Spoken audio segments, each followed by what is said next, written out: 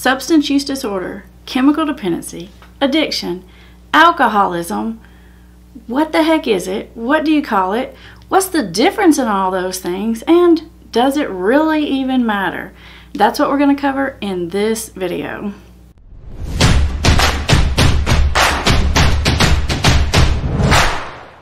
You may not be aware of this, but there is a lot of disagreement and tension in the field of addiction and treatment around terminology. And it's really not just in the field because there's a clinical way to define the situation. I'm going to tell you what that is, you know, to use the professional words. But just as far as like everyday language and lingo, there's this sort of divide between people about how to refer to the problem. And there are some days where I think to myself, does it really even matter what you call it? And then there are other days I think to myself, I'm like, mm, yeah, it kind of does matter what you call it because how you frame something sets the stage for the psychological processes around it. Let me give you an example to show you what I mean. If you go to your doctor and your doctor says, mm, you've got some cell abnormalities going on, versus if you go to your doctor and they tell you you have cancer, can you see the difference? Now, you might be sort of saying the same thing, but the implication of what the doctor's calling it is really sort of different. Because if your doctor tells you you know you've got some cell abnormalities then you think well okay well what does that mean? What do i do about it? But you definitely don't get like crazy alarmed.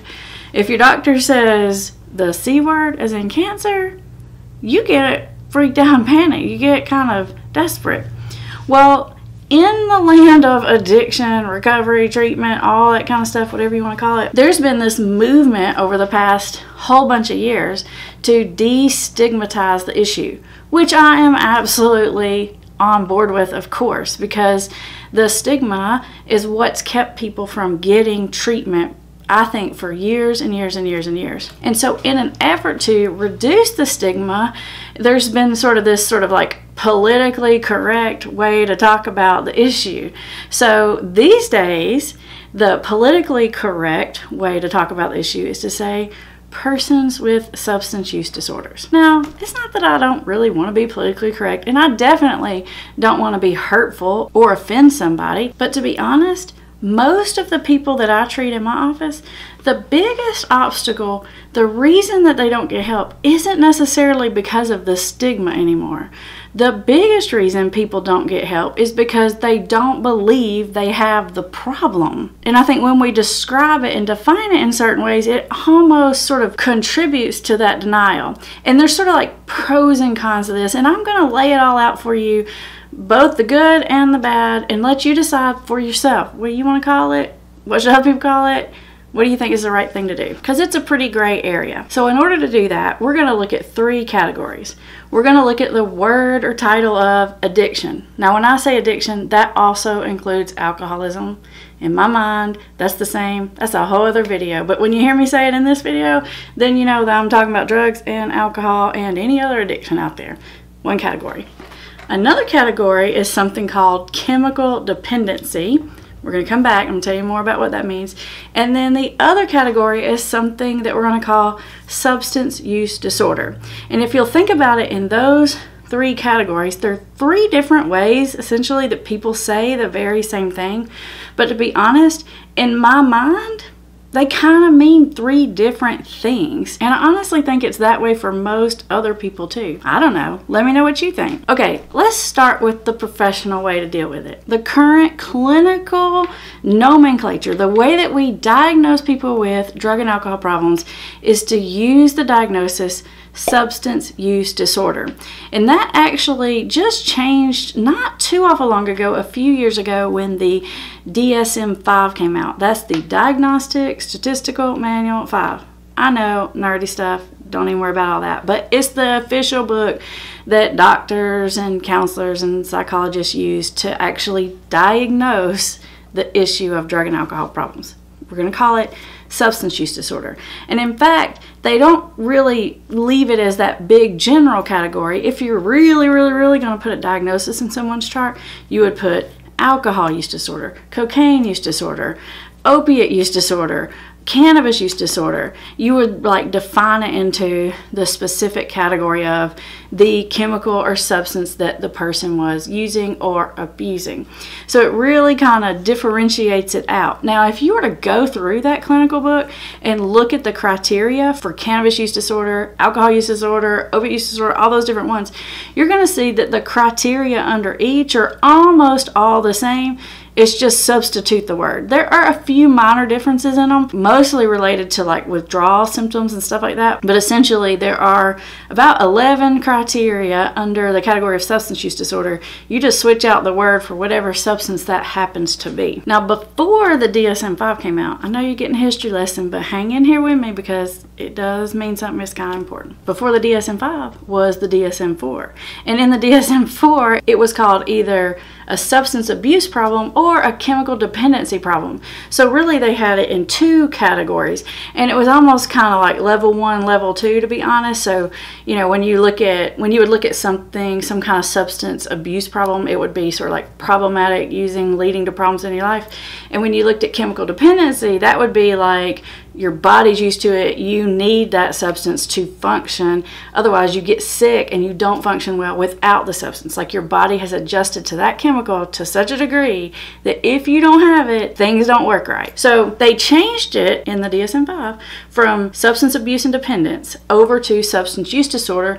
And they left pretty much the same criteria, but basically it's like there are 11 of them usually, and you go through, you count them up. And if you have two or three of them, then you have a mild substance use disorder. If you have four or five of them, you have a moderate substance use disorder. And if you have six or more of them, you have a severe substance use disorder. In my mind, it's not really like you have the problem or you don't.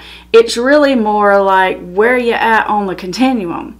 And I think that that's helpful in a lot of ways because so many of us we have this image in our head about what an alcoholic looks like, what an addict looks like, and we think, well, I don't have to have it every day. You know, I don't drink in the morning. I can't be, you know, an alcoholic. And when you look at it from the purely clinical perspective, you, it doesn't say anything about every day or in the morning. And so it's just looking at some other criteria and it helps you differentiate mild, moderate, severe. But to be 100% honest with you, I don't really like either one of those terms. I'm kind of old school and I like to call it addiction. Sometimes I'll use the word alcoholism. I use the words addict and alcoholic.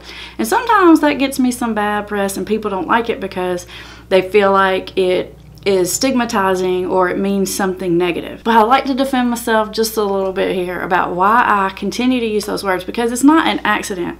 It's a strategic decision that I've made to continue to use those words.